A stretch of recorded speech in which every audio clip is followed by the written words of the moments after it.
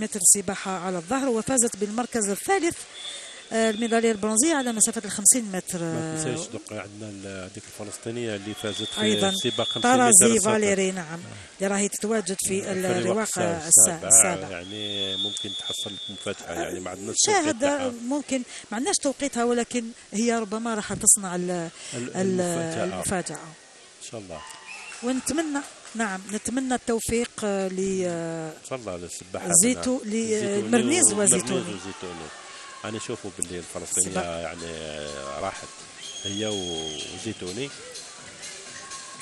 إن شاء الله إن شاء الله زيتوني تكمل هكذا وتجيب ميدالية ذهبية يعني أنا زيتوني أو نعم اذا بهذا السباق ننهي هذا النقل المباشر من المسبح الأولمبي للمركب الرياضي محمد آه، ميلود هاتفي بوهران السباق ما قبل الأخير اللي نتمنى أن تكون فيه ميداليات أخرى آه. للمنتخب الوطني إن. الجزائري إن نلتقي الله. إن غدا شاء الله. في اليوم الثاني للسباحه إن شاء الله ونبقى نواصل نحن التعليق على ما تبقى من عندنا المنافسة. البحرانيه هي اللي راهي تدخل في السباق يعني طلعت لها الفلسطينية فاليري. يعني نظن باللي راح تدي ميدالية ثانية ذهبية. فلسطينية. فاليري.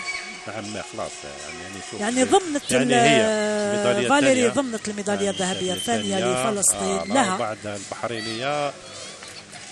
نشوف ميدالية ثالثة. وبعد زيتوني يعني المركز الثالث يعني ميدالية شوف ذهبية. ميدالية ثالثة لفلسطين في اليوم الأول. يعني اليوم راهي فلسطين بقوة. بقوة بقوة بقوة. إن شاء الله يكملوا هكذا بقوة.